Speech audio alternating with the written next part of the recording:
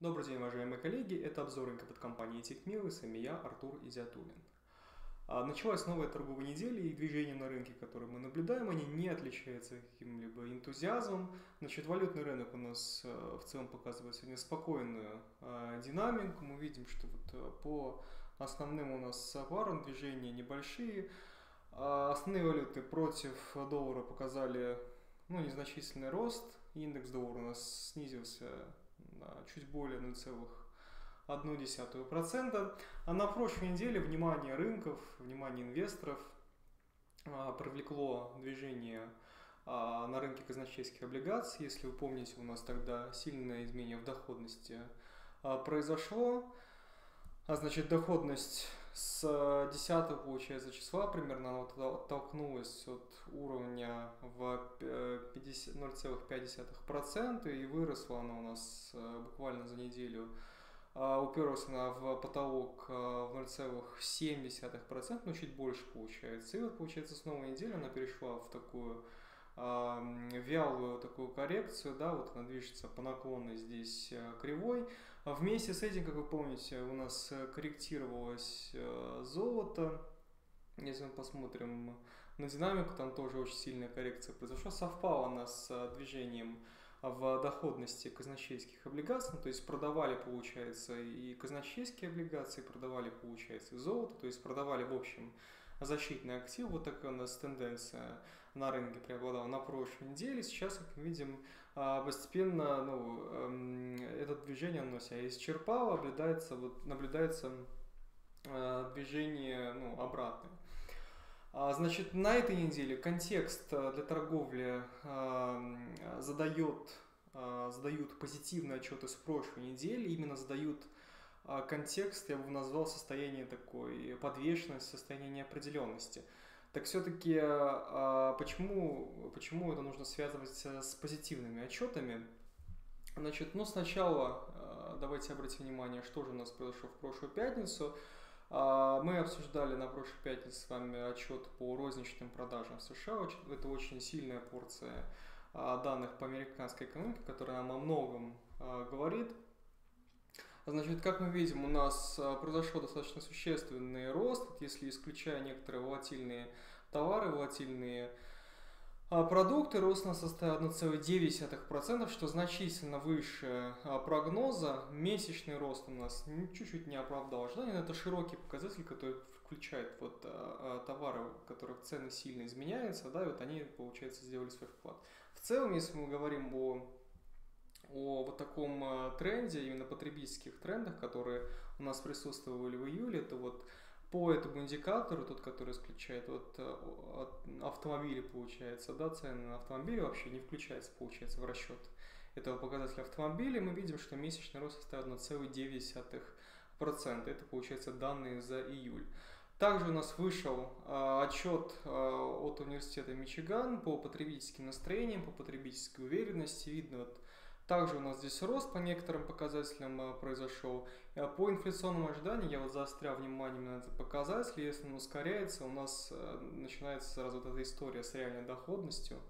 Да, она у нас вновь попадает во внимание рынков, под рыночный радар попадает, но не произошло ускорение инфляционных ожиданий на населения. Да, было 3% и осталось, получается, 3%. Вот в целом о чем эти данные говорят? Эти данные позитивные говорят, что этот импульс восстановления, который у нас после снятия локдаунов, после вот этих э, ряда вот этих э, фискальных стимулирований произошел, вот этот импульс восстановления, он у нас сохранился э, в июле. И э, так как у нас сейчас э, истекли, получается, основные э, программы в США по страхованию доходов, поддержке э, потребления, они, получается, истекли, а в конце июля. А, происходит у нас сейчас а, в США усиленные прения, переговоры между республиканцами и демократами. Какой должен быть размер новой реформы, новый размер фискальной помощи и как эти средства направить.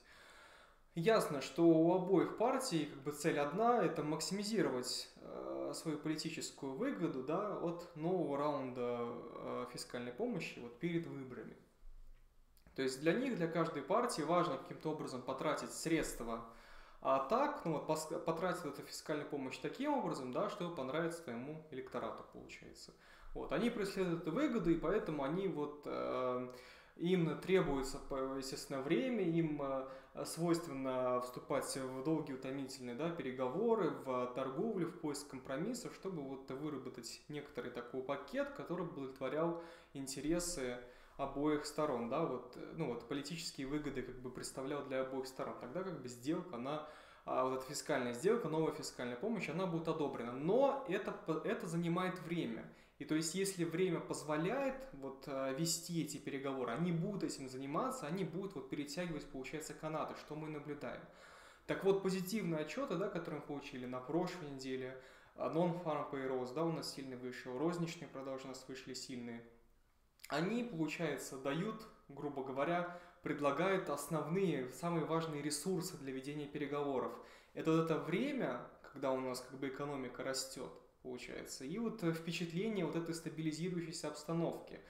А, если у нас есть вот как бы впечатление, что обстановка стабилизируется, естественно, политиков так просто уже нельзя обвинить в бездействии, то, что они затягивают переговоры, когда вот экономика чахнет, нужно действовать, нужно предпринимать усилий, нужно действовать быстрее, как бы давление на них ослабевает, и поэтому они вот дольше могут перетягивать, получается, вот эти а, вот этот канат, да, получается, фискальной сделки, чтобы вот, вот более выгодный, получается, для каждой партии, как бы, ну, найти вот а, то, как будут потрачены, как будут израсходованы эти средства основной фискальной помощи.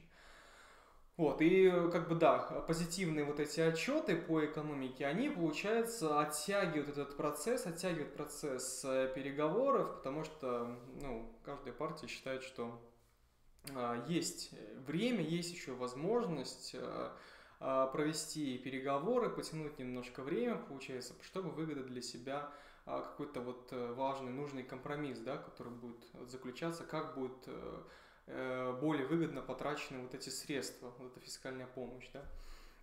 Вот, и вот такая, такая вот тревожная пауза, которая сейчас образуется у нас э, в переговорах э, по новой фискальной сделке, вот эта тревожная пауза, она, на мой взгляд, увеличивает шансы на коррекцию, получается, по, по золоту у нас, да, несмотря на этот рост, который мы сейчас наблюдаем, вот этот коррекционный откат внутри вот этой коррекции, да, он может оборваться, и вот как раз-таки на фоне того, что вот эта пауза, вот эта неразрешенная ситуация с э, фискальной, с фискальной помощью, да, новой, потому что они не могут э, договориться, она у нас была э, драйвером, ну вот фис, ожидания фискальной новой сделки, они были драйвером э, роста золота, но потому что это означает как бы большую активность э, казначейства в плане выпуска плане выпуска облигаций, поступления, да, вот предложений на рынок, активность ФРС по выкупу этих облигаций, по сдерживанию доходности.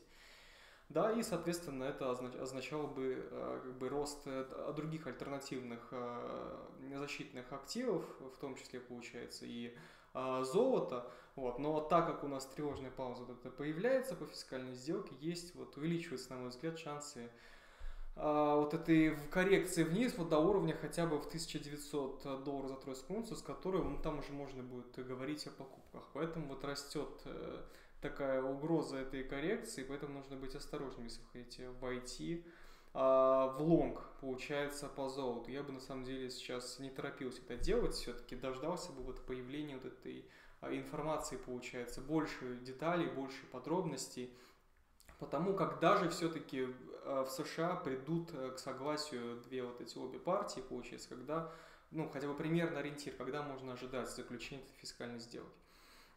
Вот, я бы дождал все-таки этой информации. А, значит, если мы говорим о, о розничных продажах, да, ну мы же мы их, получается, уже обсудили, да, вот был очень э, сильный у нас рост в контрольной, получается, группе, за исключением автомобилей. Также у нас а, был рост. И очень важный элемент, а, что нужно подчеркнуть по розничным продажам, значит в денежном выражении объем розничных продаж, он восстановился у нас уже до февральского уровня, который, ну, как бы условно считается до кризисным. И это вот э, психологически и в, в целом вот такая впечатляющая динамика, да, вот э, в июле получается, она, а, ну, для кого-то, да, может э, представлять собой как бы как, как сигнал того, что возможно, действительно восстановление уже началось, как бы приобрело некоторую самостоятельность, может быть, фискальная сделка, она не потребуется, и это впечатление, оно может быть заразительным, и политические партии США могут также задуматься, все-таки, может быть, стоит сократить объем да, потенциальной помощи, потому что непонятно, ей вот есть восстановление, сколько оно еще продолжится, да, потому что задаются у нас пессимистичные оценки, но вот четко, четко а, видно, четко а, можно проследить, что сюрпризы в данных, которые мы получали за май, за июнь, за июль, они вот прям последовательно, они вот уже систематически превышают, получается, они систематически позитивно, они превышают, получается, консенсус. То есть все оценки за май, июнь, июль, они были более пессимистичными, чем актуальные данные. И это, конечно же, вот создает может создавать впечатление, что как бы недооценивают э, э, потенциал э, восстановления, недо, недооценивают траекторию вот этого восстановления. И как эксперты, так и рынок.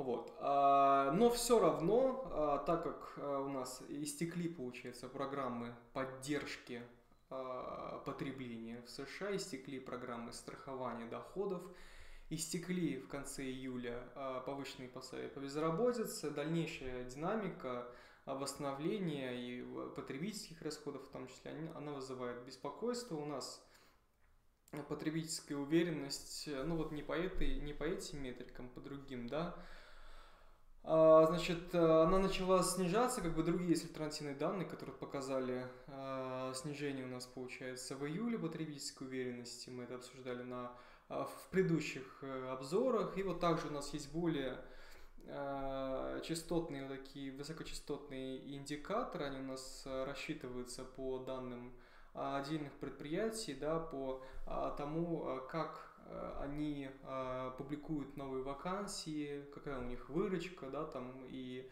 так далее. Значит, эти альтернативные данные, получается, они показывают, что в августе у нас а, потребительские расходы, на ваших экранах представлен вот этот график потребительских расходов США, эта динамика относительно, получается, января 2020 года, восстановление относительно января 2020 года. Вот видно, что вот получается с начала, э, с начала июля и весь этот период июля у нас плата, да, как мы видим, ну, восстановление вышло на, вошло в фазу плата, и вот затем а, динамика потребительских расходов, она у нас перешла, получается, в августе. Снижение. И это четко отражает а, тот факт, что у нас подошли, получается, к концу вот эти программы страхования доходов, повышенные пособия по безработице, и у нас действительно происходит, получается, снижение потребительских расходов, и август уже не будет все-таки скорее всего, таким э, э, удачным, да, э, как июль, да, вот в плане занятости, в плане данных по занятости, в плане данных по потребительским расходам. И это нужно как бы ну, учитывать сейчас в оценке перспектив. Вот, что еще, да, почему все-таки стоит ожидать вот эту фискальную сделку, почему она будет все-таки заключена? Это такие, э, так сказать, сигналы, которые э, не обманывают, которые не вводят в заблуждение. Это у нас динамика потребления нефти. Если мы обратимся к косвенным э, показателям того, как у нас снижается, получается, запас и как у нас сокращается этот переизбыток нефти, то в качестве этого показателя вот в качестве измерителя, да, вот э, того, как все-таки у нас сокращаются запасы, мы возьмем а, так, называемый, э, так называемые временные а, спреды, это разница между у нас а, контрактами более дальних поставок по, по нефти и а, контрактов с более, более ближней датой поставки. В данном случае мы берем а, разницу между э, ноябрьским контрактом по бренд, получается, по сорту бренд, и э, октябрьским э, контрактом по сорту бренд. И вот видно, да, то, что когда у нас был переизбыток, получается, у нас временной спред, то есть разница между этими двумя контрактами, она у нас вот здесь росла. Потом, когда ОПЕК у нас начал принимать там меры по сокращению, вот, по введению квот, по ограничению производства и так далее, у нас этот спред начал снижаться, И затем, как мы видим, когда ОПЕК начала постепенно у нас э, эти квоты поднимать, да, получается, постепенно восстанавливать производство, да, но это она делала очень планомерно. Видно, что этот спред пошел вверх, это также усиливалось э, тем фактом, что на самом деле у нас э, динамика сокращения запасов нефтяных, она у нас э, постепенно становится менее, менее позитивной, это вот как раз-таки можно сделать вывод из динамики а, вот этого а, спреда. Он у нас, получается, достиг примерно максимума с конца мая, то есть мы эту динамику, мы это значение видели, получается, с конца мая, и это вот говорит о том, что постепенно снижение запасов, снижение этого переизбытка нефти, спрос, получается, на эту нефть, другими словами, да,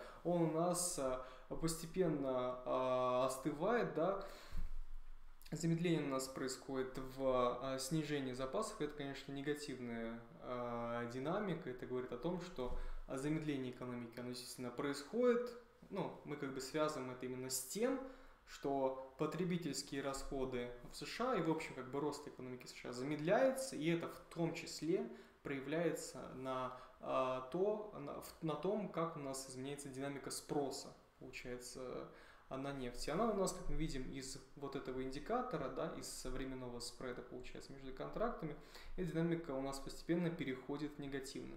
Это как бы нужно иметь в виду, и а, это еще раз говорит о том, что а, фискальная сделка, да, которая а, республикан, о которой должны договориться республиканцы и демократы, она у нас а, должна а, будет а, одобрена, но вот неизвестно получается когда. И единственное, вот эта неопределенность в плане того, когда же это произойдет, может быть, это произойдет даже в сентябре, получается, может, они затянут настолько долго, что в сентябре у нас произойдет. Единственный этот момент у нас а, порождает а, вот такой, как я уже сказал, а, шанс, такой ситуации, где у нас золото может кратковременно, получается, скорректироваться до, до уровня в 1900 а, долларов, и потом уже можно будет дальше оттуда рассматривать а, рост. Вот, а, это все, о чем а, я сегодня хотел вам рассказать. Если у вас какие-то вопросы или комментарии, пишите, делитесь своими мыслями. Если вам, если вам понравилось это видео, вы можете отблагодарить меня, поставив лайк. Вот, на сегодня все. Спасибо за ваше внимание. Увидимся в среду.